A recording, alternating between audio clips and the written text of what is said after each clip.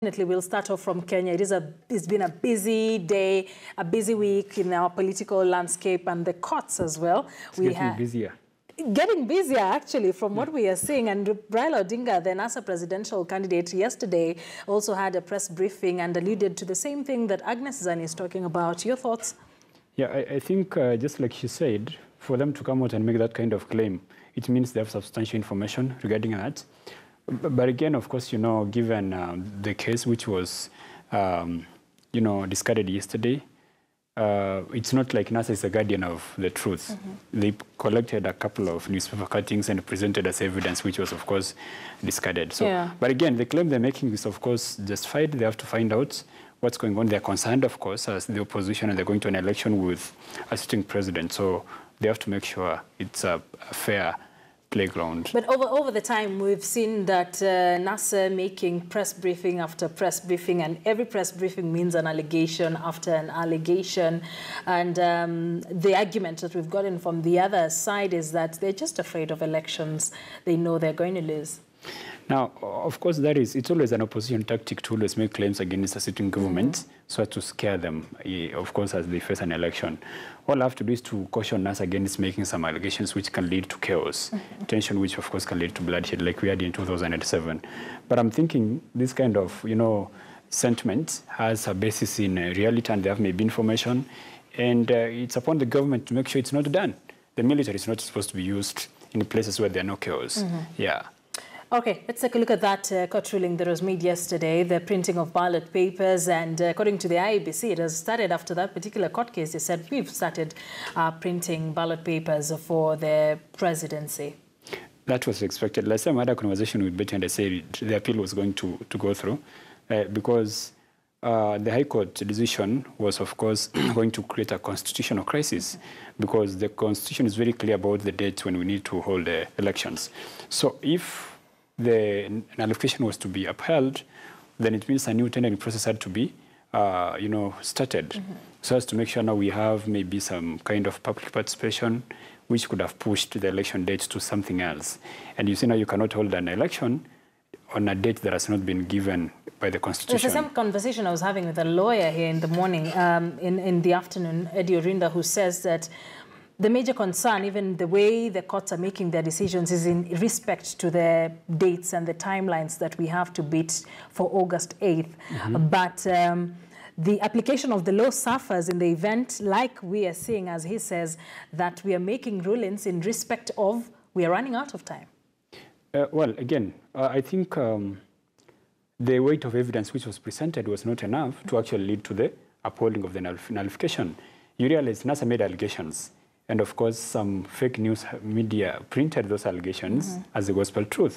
Now, the cuttings from the newspapers were presented to court as evidence. Mm -hmm. So you can see it's so it looked like they were using their own allegations as that is evidence it, yeah. in court? So yeah, I think we have a problem with the kind of media we have around. Of course, I'm not blaming 100% of our media mm -hmm. houses, whereby we don't just take our politicians to task. I can make an allegation and, you know, it's printed. Yeah, uh, let me give an example of what happened a few days ago in the United States, whereby the New York Times got a very nice story about Donald Trump Jr. meeting some Russian lawyer. Yeah. And uh, you know that the story was 100% correct. When they said they're going to publish it, the, the guy came out and said, okay, it happened. He, you know, he shared the information. So that is what we need to, to have here. Before mm -hmm. you go to publish a story, make sure it's credible, it's mm -hmm. true. So just because it's been said by a politician, Doesn't don't rush. Mean it's a gospel truth. Exactly. So the case, I think, is okay. I mean, the decision was okay. It allows us to conduct an election at the stipulated time. So it's, a, it's now upon IEBC to make sure they're ready for the election, and it has to be credible, free, and fair, so as to satisfy both parties, yeah. Kenyans, But NASA. can you, can you really satisfy everyone?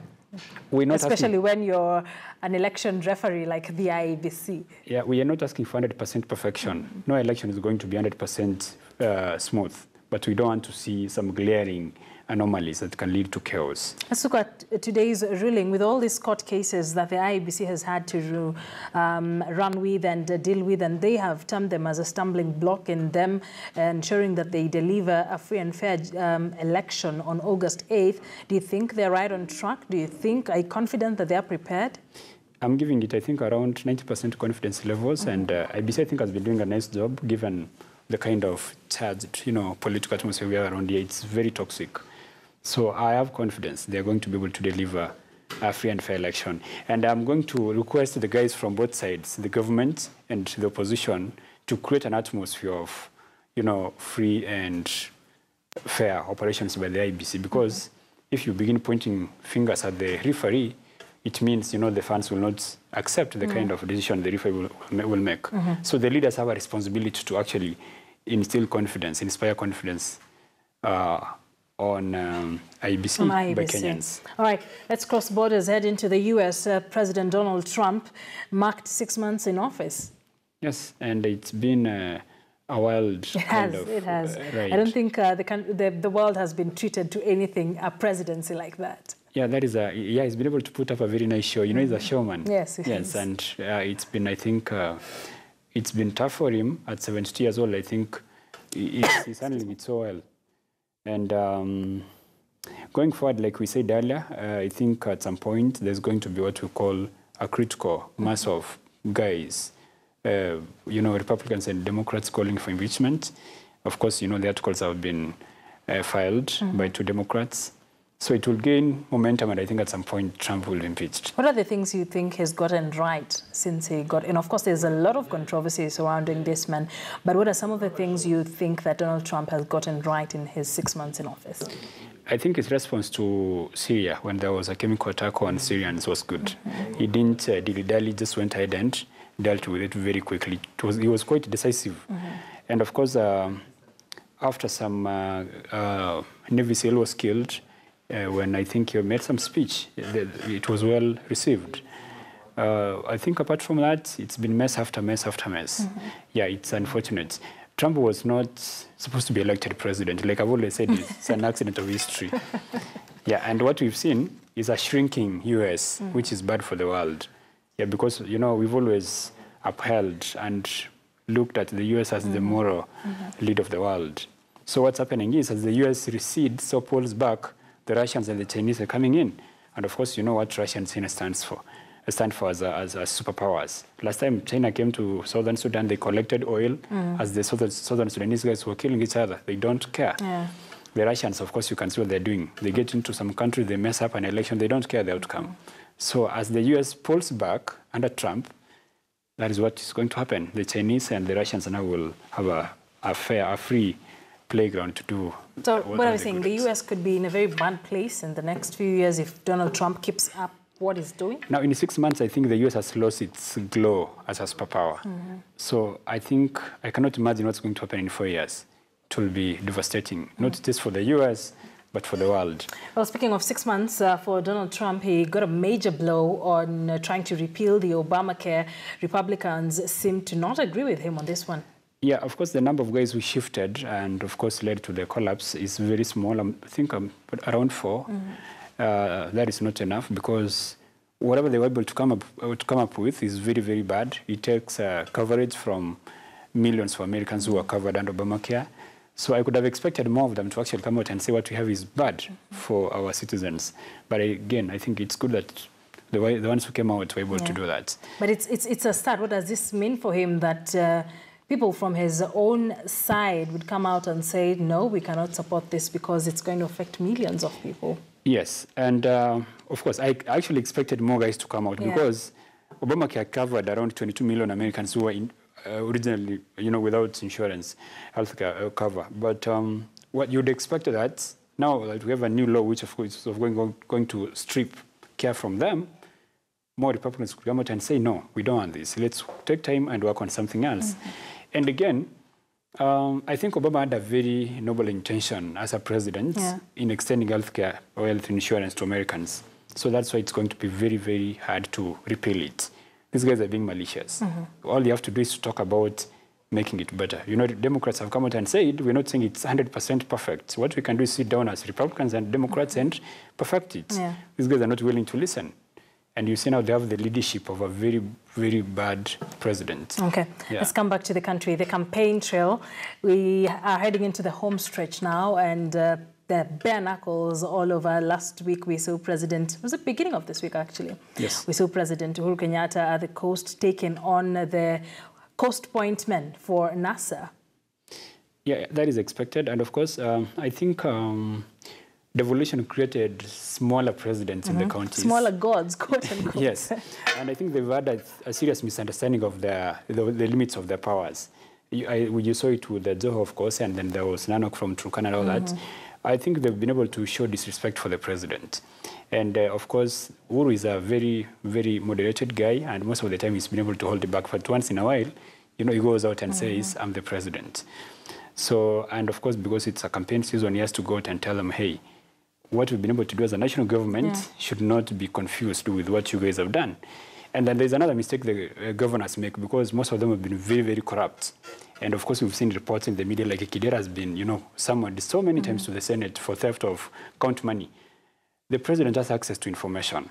And some of these guys confront him not knowing he's been able to see how they've been swindling money that is meant for citizens. So you can stand before the president and say, ah, the, the national government is very corrupt. And yet the president knows you've stolen so much yeah. money.